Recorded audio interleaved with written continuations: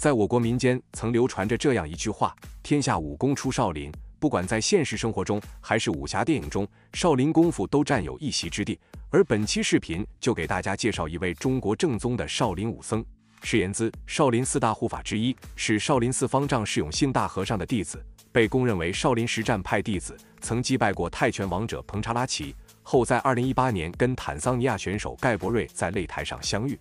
在比赛中，五十三岁的施延资打得十分凶猛，体能力量方面丝毫不输年轻小伙。在接下来双方对拼中，盖博瑞连续低扫命中对手，施延资见状立即还以颜色，跳起来一脚直奔盖博瑞的头部，紧接着又是一记重拳打了他一个踉跄，随后腹部又挨了释延资一记重击，盖博瑞疼得直接捂住肚子认输。整场比赛还不到一分钟，五十三岁的释延资就 KO 对手，获得了比赛胜利。其实还有很多少林武僧登上擂台击败强敌，例如武僧一虎跟泰拳王萨克的那场比赛，在比赛中两人一上来就打得十分激烈，重拳对轰互不相让，最终还是一虎技高一筹，在第二回合快结束时，连续三次击倒独秒将萨克 KO 在了擂台上。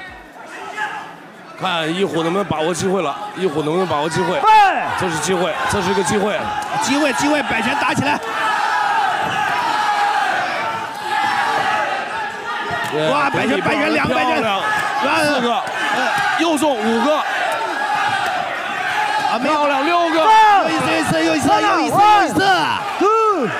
three，哦，泰国选手太能扛了，我觉得应该有问题有问题问题，seven，哎，往前，up up，哦，有十秒钟缓过来了，缓过来一点，看一虎能不能抓住这个机会。